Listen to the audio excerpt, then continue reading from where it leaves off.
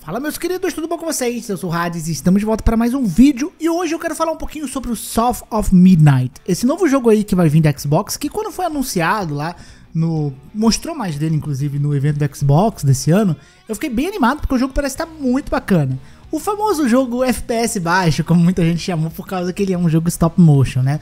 A gente tem algumas coisas para falar sobre ele, porque teve tipo um mini documentário sobre o jogo ali de 30 minutos falando sobre o processo de desenvolvimento, sobre o jogo, e depois os desenvolvedores trouxeram mais algumas notícias relacionadas à própria duração do jogo, o FPS, enfim, vamos comentar sobre alguma dessas coisas aqui. Então antes de começar o vídeo, não se esqueça de deixar o like, se inscreva no canal e vambora pro vídeo.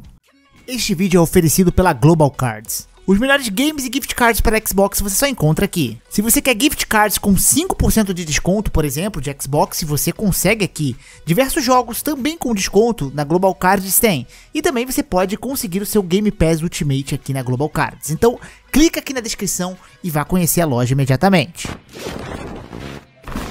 Bem, aqui no jogo, né, que é um jogo de ação, uma aventura ali em terceira pessoa, nós vamos controlar a personagem Hazel na procura da sua mãe, ao mesmo tempo que ela explora e conhece várias criaturas aqui. O jogo ele é baseado no folclore ali do sul dos Estados Unidos, né, de vários estados ali do sul dos Estados Unidos, e eles são baseados não só em folclores, mas também como em lendas populares desses locais. Então eles fizeram um estudo, foram atrás, buscaram e muitas dessas coisas, né? Eles falaram que ninguém sabe a origem, poucos sabem a origem, né? Mesmo ali as pessoas do sul, porque são histórias, são contos populares que eles foram dando forma, criando e adaptando para o jogo, né? E isso permite criar o visual de algumas criaturas e o visual até da arquitetura do jogo, que se você for perceber, né, ela é baseada, por exemplo, em Nova Orleans ali. Então, a gente tem bastante aí dessa cultura do sul dos Estados Unidos, né, esse estudo todo do sul dos Estados Unidos, né, focado nisso. Uma das coisas que eles falaram é que um dos focos é você ter bastante visual diferente de criaturas. Isso daí eu fiquei feliz, eu gostei, né? Porque é legal você ter um visual ali variado de monstros e bichos, né? Da personagem. Tanto tipo bichos que ela ajuda, que vão ter vários bichos que ela ajuda, né? Tanto quanto os inimigos que ela derrota. E, inclusive, né? Esse jogo aí ele é um jogo de ação aventura, ele me dá uma vibe muito Kena, que é um jogo que eu gosto pra caramba também. Então ele parece estar bem legal por causa disso, né? Mas antes de falar do combate, a gente vai ter aqui reinos, né, que são tipo comandados por algumas criaturas e a gente vai precisar ir atrás dessas criaturas, a gente vai encontrar outras, outros monstros, né, outros bichos que a gente vai ajudar, vai conhecer mais sobre o passado delas, né? Então, tipo, a personagem, ela tem meio que um poder que ela consegue ver o trauma dessas criaturas, né? E aí sim, ela consegue auxiliá-las, né? E ajudá-las ali durante essa jornada. Para navegar no jogo, a personagem ela tem um poder que ela é conhecida como uma Weaver, né? E ela utiliza esses poderes que são uma espécie de tipo um poder meio que de vento, mas é um poder que ela utiliza que eles falam até que eles tentam lembrar um pouquinho linhas de tricô, uma coisa meio de tricotar. Então, ao mesmo tempo que ela mistura ventos, né, ela utiliza eh, esses poderes, essas linhas, para poder utilizar como gancho, por exemplo, ou no, na forma dela planar. Eles são utilizados justamente para poder navegar pelo cenário do jogo, né, ou até utilizar no combate. Que inclusive ela utiliza duas espécies de agulhona ali, né, que são as armas dela pro combate. Então tem meio que essa linha aí de costura que eles falaram ali que também é algo forte ali da cultura do sul, né, o tricô. E ela tem esses poderes e habilidades que ela utiliza tanto para navegar no cenário, então ela consegue dar impulsos ali a distâncias e meio que utilizar esses poderes para dar uma planada, assim. Você vê que é uma movimentação bem fluida aparentemente, um embora seja um jogo linear, né? ela parece uma forma de navegar bem fluida e bem livre ao mesmo tempo. Isso é legal, né? E ao mesmo tempo que você utiliza isso para passar de cenários, puzzles, etc, você vai utilizar isso no combate. Ela tem alguns poderes que são utilizados junto com o ataque dela, né? E o combate é um combate de ação que me parece estar bem fluido olhando ele aqui. Você tem a esquiva, você pode pular ali, atacar, fazer uns combo maneiro, né? Os inimigos e os chefes, os poucos que eles mostraram aqui, tem um, um jacarezão ali, cara, parece estar muito bacana. Bem divertido o combate, né?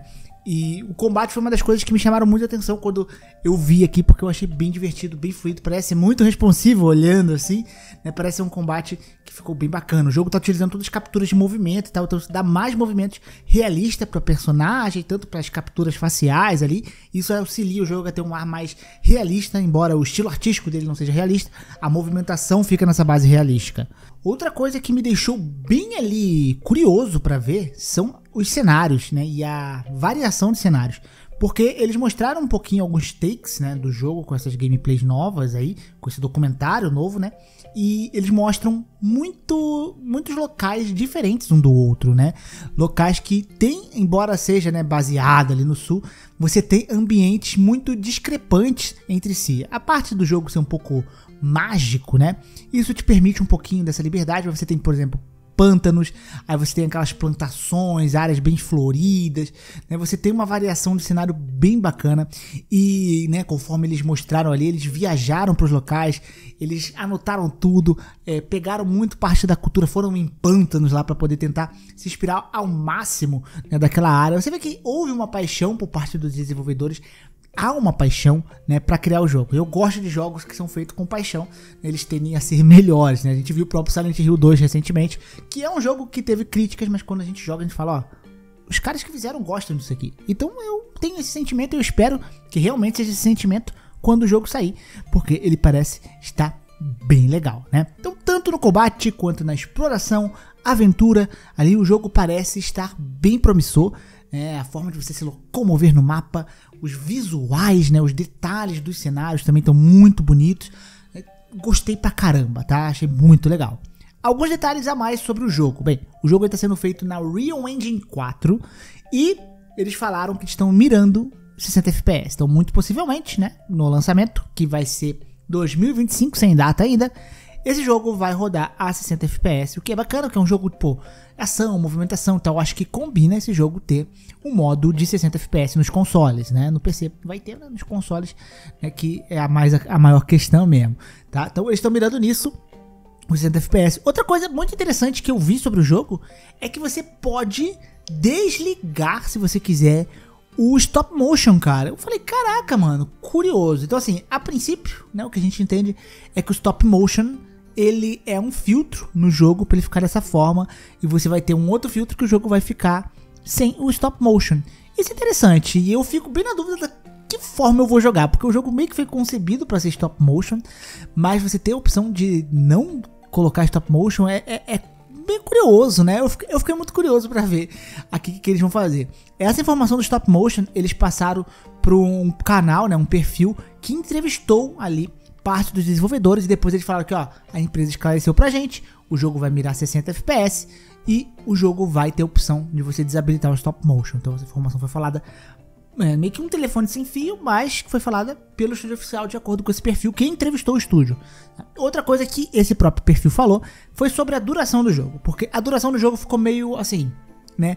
Tinha se falado entre 15 e 20 horas e depois se falou que o jogo foi feito, tá? Com a mentalidade de se durar 12 horas, tá? Mas que o jogo pode ser diferente da forma que a pessoa explorar da forma que a pessoa progredir. Então esse tempo pode aumentar. Então meio complicado, né? A gente teve 15, 20, agora 12. Vamos por uma média? Acho que esse jogo vai durar, em média, umas 13, 14 horas aí. Pode ser esse tempo, mais ou menos. Para um jogo single player, né? Acho que tá um tempo ok, né? Um tempo bacana aí, né? Então, basicamente, essa daqui são todas as informações que a gente tem até agora, né, sobre o South of Midnight, que vai lançar em 2025, né? Parceria com Xbox, vai ser PC, né? Steam também, e também vai ser lá no Game Pass.